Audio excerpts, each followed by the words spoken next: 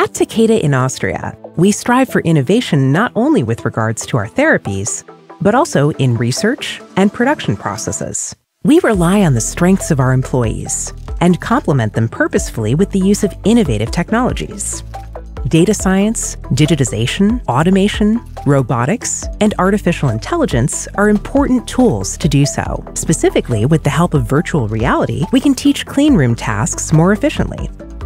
A wide variety of robots support us in many work processes in the laboratory, and virtual images of our systems, so called digital twins, and augmented reality support new employees in their training. Furthermore, with the possibilities of big data, we can continuously improve processes and observe much more closely which factors influence diseases. This opens up a completely new field of treatment options.